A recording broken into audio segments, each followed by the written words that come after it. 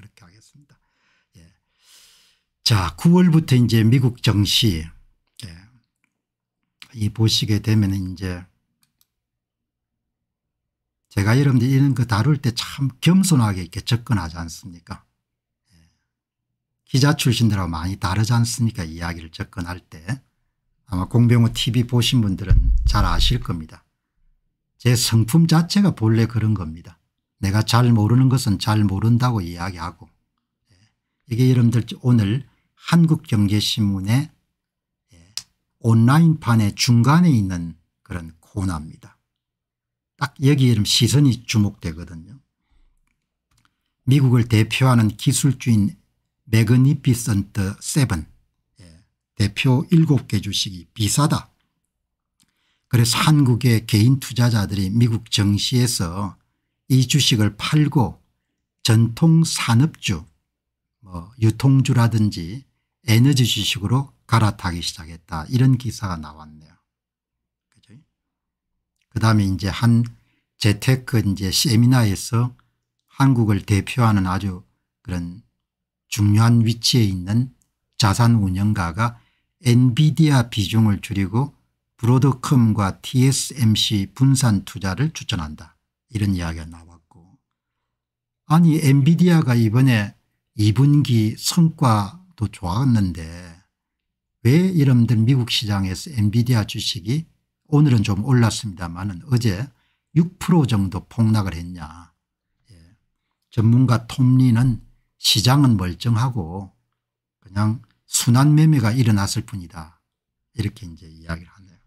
그래서 여러분들 궁금해 가지고 아니 한국의 투자자들이 왜 여러분들이 이렇게 주식을 바꿔 탈까 여러분 한번 보시기 바랍니다.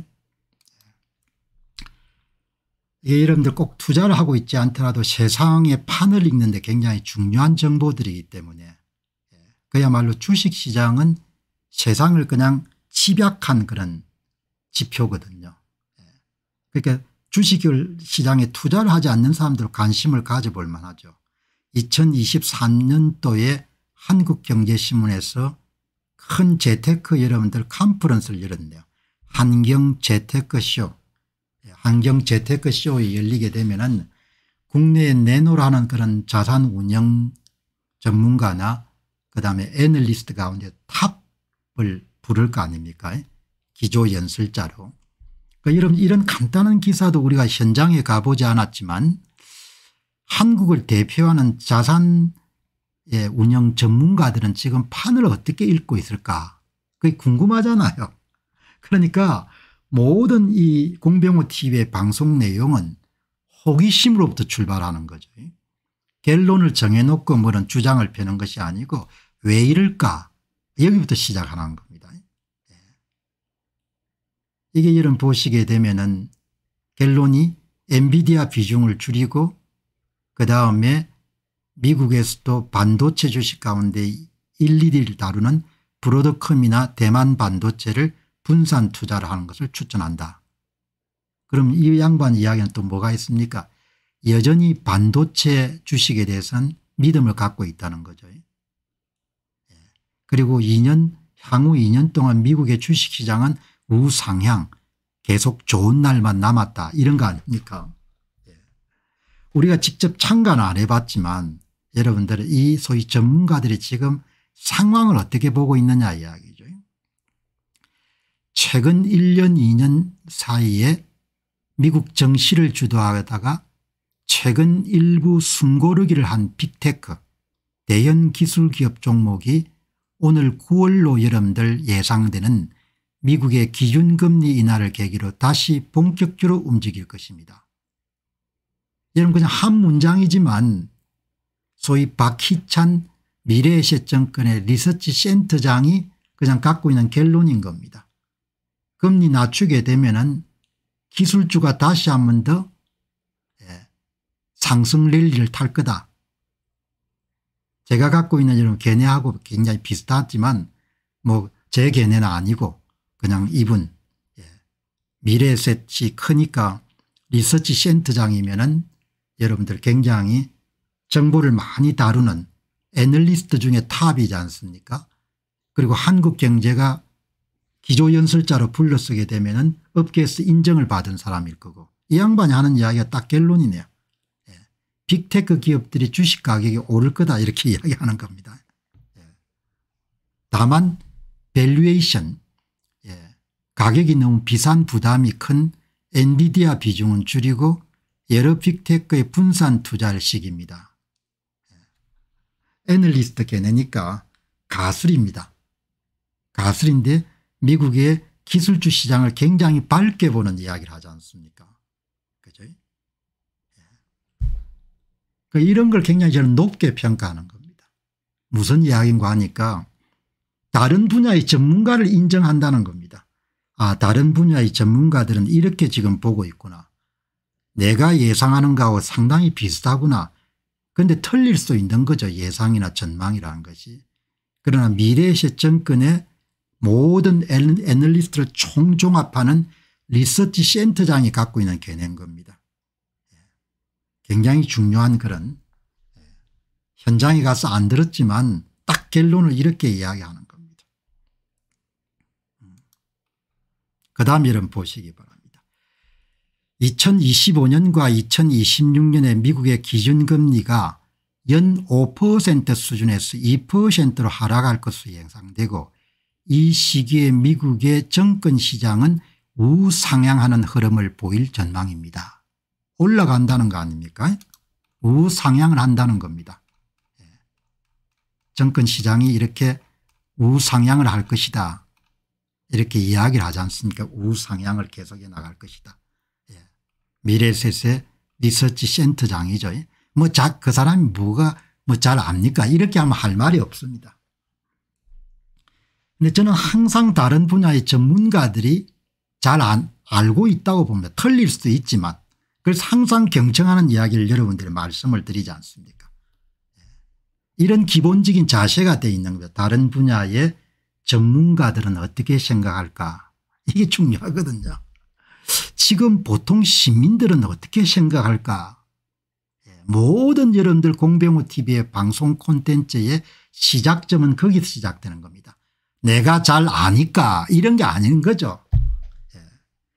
그래서 여러분들 방송을 보고 의견을 남기신 분들의 이야기를 자주 소개하는 겁니다. 그거는 여러분들 그냥 단순하게 뭘 이야기하는 거 하니까 제가 갖고 있는 태도 삶이나 세상사를 바라보는 태도가 그런 겁니다. 윤 대통령과 완전히 다른 거죠. 예. 동갑내기지만 완전히 세상을 바라보는 시각이나 attitude 태도가 완전히 다른 겁니다. 아니 공 박사가 왜 여러분들 방송 시간에 다른 사람들 1955년에 여러분들 외과 의사 분의 이야기를 왜 소개하지 이렇게 생각할 겁니다. 왜 소개하느냐 아니 그분이 1955년 여러분들 생으로서 외과 여러분들 30년 이상 봉직을 해봤으니까 의료 분야를 내보다 잘 알 거라고 생각하기 때문에 소개하는 겁니다. 그래서 우리가 성장해 나가는 거죠. 전문가들을 소중히 여기고 전문가들의 이야기를 경청하면서 오늘 이야기도 대단히 귀한 이야기입니다. 예. 예, 대단히 중요한 정보를 오늘 이렇게 이야기하는 겁니다. 예. 상승장은 빅테크가 주도할 것입니다. 그냥 여러분 오늘 새벽에 이렇게 일찍 부지런하게 일어나 가지고 이 방송을 이렇게 보는 것만 하더라도 뭡니까 큰 걸 얻는 거죠. 그런데 엔비디아는 좀 비싼 것 같으니까 비중을 좀 줄이시기 바랍니다. 이렇게 이야기한 겁니다. 예.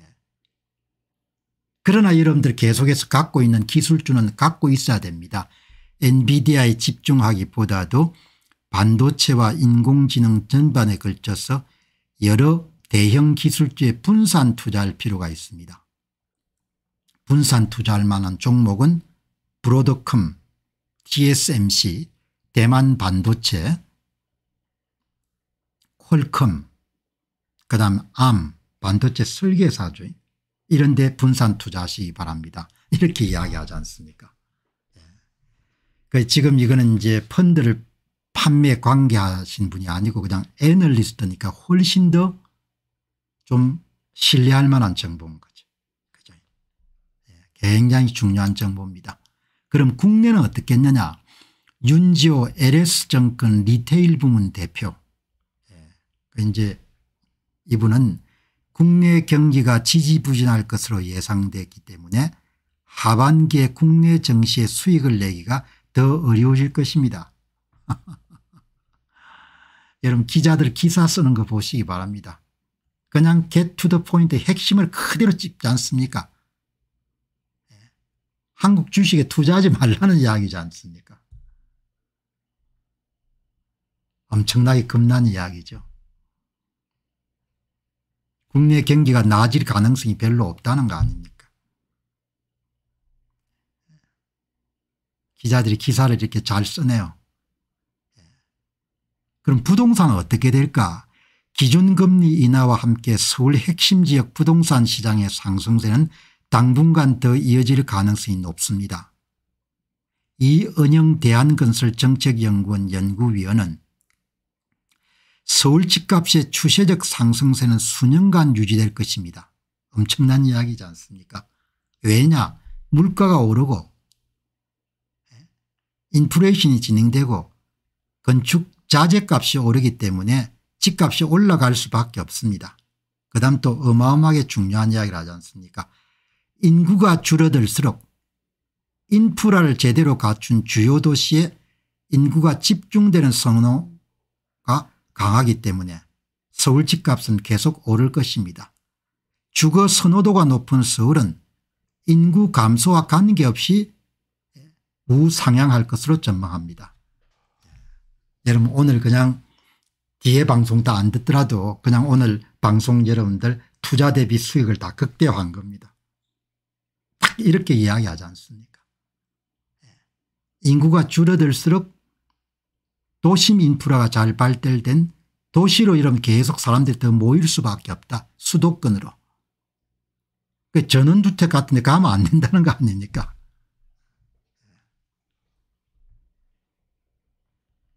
이렇게 보지 않습니까? 그죠?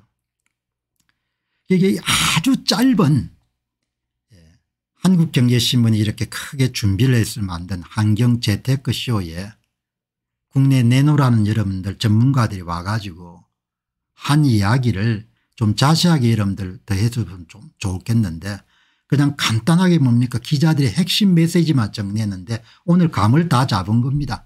미국 정신은 우상향 계속하는 것이고 9월 달에 금리 내리면 미국의 대형 기술주는 또 한 번 뛸 거고. 그렇지만 엔비디아가 너무 올랐으니까 브로드컴이나 TSMC나 퀄컴 같은 데 분산 투자하고 앞으로 2 3년 동안 미국의 여러분들 기술주는 계속 우상향한다. 이렇게 여러분들 뭡니까? 내 이야기가 아니고 미래 리서치 센터장이 그냥 잘라서 이야기하지 않습니까? 국내는 어떻게 되겠냐? 국내 경제가 계속 침체될 것이기 때문에 국내 주식시장에 돈 벌기란 어렵다. 그렇게 이야기하지 않습니까 여기 보시게 되면 LS정권의 음? LS정권의 이제 예, 여기에 LS정권의 리테일 부문 대표가 윤지호 대표가 부동산 어떻게 됐냐 서울 집값은 계속 오를 수밖에 없다. 왜 자재값도 오르고 인플레이션이 진행이 많이 됐기 때문에 사람들이 점점 수도권으로 몰려들 수밖에 없다. 칼같이 잘라서 이야기하지 않습니까 예. 나그네님 반갑습니다. 그러니까 여러분들 정치 문제 다루기보다 이렇게 경제 문제를 다루면 훨씬 더 이제 부가가치가 높죠. 그래서 오늘 작심하고 정치 집어치우고 여러분들 오늘 저 앞부분 시사 주제는 전부 다 경제로 여러분 다 채운 겁니다. 여러분 이 가치를 알아야 되지 않습니까 이런 가치를. 예. 이런 뉴스가 갖고 있는 밸류를 이렇게 이런 가치가 있는 건데 제가 거기에다 의미를 더 부여했으니까 여러분들이 한 단계 더 도약하실 수 있는 거죠. 이렇게 이러면 세상이 돌아가는 겁니다. 음. 자 그런데 보시기 바랍니다. 그런데 같은 신문에 서학개미들 미국 정시에 투자하고 있는 개인 투자자들이 대형 기술주를 막 파는 겁니다. 아, 이거 아닌데. 엔비디아를 팔고 우르르 갈아탄 곳 이런 이야기가 나오는 겁니다. 이거는 미래에셋 증권의 리서치 센터장이 이야기하는 거 좀 다르지 않습니까? Magnificent 7 미국의 대형 기술주 빅테크가 너무 비싸다. 어차피 비싼 주식이니까. 그걸 팔고 유통주를 산다 이제 불황기가 오면 은 그걸 경기 방어주라 하지 않습니까 에너지 주식이나 이런 게 나오는 게 변동장 속에 방어주를 강시에 전망한다. 아니 이 주식을 팔면 안 되는데 그런 생각이 드는 겁니다.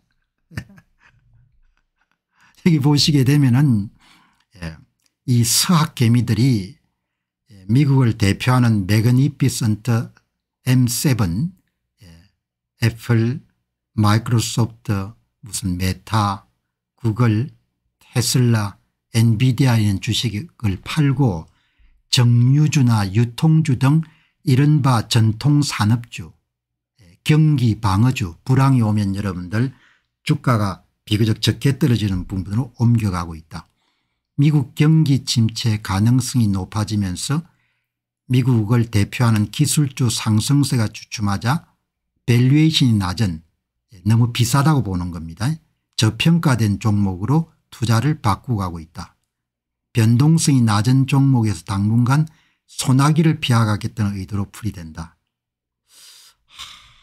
이 여러분들 너무 조금 파는 거는 괜찮은데 너무 많이 팔면 뭐 이런 주식들은 여러분들 진짜 금쪽 같은 주식들이지 않습니까 비가 오나 눈이 오나 여러분들 오를 수밖에 없는 주식이지 않습니까 예. 엔비디아 애플 구글 마이크로소프트 메타 테슬라 아마존닷컴. 여러분 이런 주식들은 너무 비싸게 사면 안 되지만 웬만한 가격이면 여러분들 계속해서 사서 모을 수 있는 주식이지 않습니까? 예. 여러분 그야말로 미국을 대표하는 주식이지 않습니까? 비가 오나 눈이 오나 이러면 성장할 수 있는 주식이 뭐냐? 일곱 개 가운데 하나를 여러분들 택하면 되죠. 그중에 이름 테슬라는 약간 저는 조금 그렇게 많은 credit을 주지 않는데 엔비디아 애플 구글 마이크로소프트 메타 그중에서 이런 1, 2, 3를 하자면 애플 마이크로소프트 그다음에 아마존 메타 이 정도는 뭐 믿을 수 있는 거지 않습니까? 테슬라는 전기차니까 조금 타격을 받을 수도 있고 엔비디아는 GPU에 지나치게 여러분들 사업이 많이 의존하기 때문에 등락이 좀 많겠지만 그냥 애플이나 그다음 마이크로소프트사나 그다음 메타나 과거의 페이스북 아마존닷컴은 뭐 거의 독점력이 있지 않습니까 그럼 구글을 왜 포함하지 않느냐 구글은 검색 시장이 앞으로 어떻게 될지 모르기 때문에 그 구글은 뭐 그렇게는 크레딧을 줄 수가 없는 거죠. 예. 그 이런 주식들은 뭐 생계가 곤란할 정도가 아니면 팔면 안 되는 거죠. 그죠? 여러분 오늘 그냥 참조하시기 바랍니다. 내가 이 주식을 사라 이런 이야기가 아니고 오늘은 토요일이고 그동안 정치 이야기도 많이 했으니까 다 집어치우고 이제 그냥 오늘 시장 이야기만 좀 하는 겁니다. 이런 주식은 비가 오나 눈이 오나 팔면 안 되는 거죠. 무슨 경기 침체가 올 것 같아 경기 침체가 오면 다음에 경기가 또 좋아지게 되면 다 그만큼 여러분들 커버가 되니까 그래서 이런 걸 판단하는 이야기가 나오기 때문에 제가 놀래 가지고 오늘 방송에서 이야기한 겁니다. M7을 팔아치우는 국내 투자자 이건 아닌데. 물론 추가적으로 또 돈이 있으면 은 나스닥을 추종하는 그 상장 지수 펀드는 아주 유명한 QQQ 그다음에 인텔은 주식 가격이 많이 떨어져 있어요. 인텔 그다음에 옥시덴탈 예, 월마트 뉴스케일 파워 이런 데 이제 투자를 하네요. 이걸 팔고 이걸 투자하면 안 되는 거죠. 이거는 갖고 있고 푼돈 생기면 여기를 투자할 수 있는 거죠. QQQ보다 예. QQQM을 사야 안 되겠습니까 운용수수료가 훨씬 싸니까 인텔은 아주 많이 떨어졌지만 인텔은 부활이 될까 뭐 그런 생각이 들기도 하네요. 예, 그죠.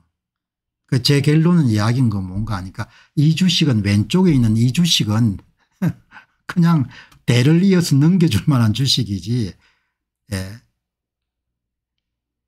중간에 여러분들 뭐 이렇게 팔 수 있는 주식은 아니죠. 아니 당신이 무슨 전문가냐고 이렇게 또 이야기할 겁니다. 전문가는 아니지만 견해를 갖고 있는 것이고 오늘 앞에서 이야기를 했지 않습니까 미래에셋의 여러분들 리서치 센터장께서 예, 기술 종목은 계속 지고 있어야 된다. 금리 낮춰지면 또 오른다. 그때는 못 산다. 이렇게 이야기를 했지 않습니까 예. 아니 그런데 지금 개미들이 막 팔고 있는 겁니다. 이건 아니다는 겁니다. 제 생각에는. 예. 그죠. 음. 이렇게 여기 보시면은 그래서 이렇게 흥미롭습니다. 예. 그럼 왜 개미들이 파느냐 Magnificent Seven 기업의 실적이 둔화할 기미가 보이는 것도 기술주 투자 심리를 냉각하고 있다. 예. 분기별 여러분들 성과가 좀 안 좋더라도 관계가 없는 겁니다. 예. 성과랑 오르고 내리고 오르고 내리고 하지만 계속 올라갈 수밖에 없으니까. 예. 이거는, 받아들이기 힘든 개념인 거죠. 예. 그런데 이거를 팔고 그 대신 이제 다른 것을 여기 보시면 서학 개미들은 나스닥 100 지수를 추종하는 인베스코 QQQ ETF를 1억 619만 달러치 순매수하고 그다음 미국 단기채에 투자하는 아이쉐어즈 미국채 ETF S&P 500 지수를 추종하는 SPDR S&P 500 ETF QQQ 대신에 QQQM을 사는 게 좋은 것 같고 SPDR S&P 500 아마 이게 SPY 겁니다.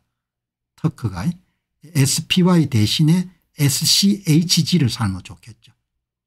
500개 예. 대신에 250개 기업을 묶은 거. 예. 이렇게 여러분들 보는데 뭐 어쨌든 이분들이 최근 미국 정시에서 위험 회피 심리가 강해지면서 기술주를 팔고 금융주와 에너지주 등 전통적 경기 민감주가 더 선전하고 있다. 뭐 남이야 선전하든 말든 예, 이 주식은 팔 수 있는 주식이 아닌 거죠. 왼쪽 주식은. 너무나 좋은 주식이니까. 예. 뭐 미국이 여러분들 어마어마하게 뭐 힘들어지면 이 회사들도 힘들어지겠지만 뭐 벌써 여러분들 예, 3조 달러 정도 여러분들 이게 엔비디아가 거의 3조 애플이 3조 마이크로소프트가 3조 그러니까 뭐 규모가 어마어마하게 큰 거죠. 여러분 간단한 이야기지만 오늘 이렇게 많은 것을 배울 수 있는 겁니다. 예. 그러니까 이게 딱 시각을 갖고 있으면 의사결정을 내리는데 굉장히 크게 도움을 받을 수가 있는 거죠. 자, 여러분 이 챗 GPT와 라마 챗 GPT는 오픈 AI 사이의 대규모 언어 모델이고 라마는 메타의 예, 저크버가 여러분 운영하는 메타의 대규모 언어 모델 라마입니다.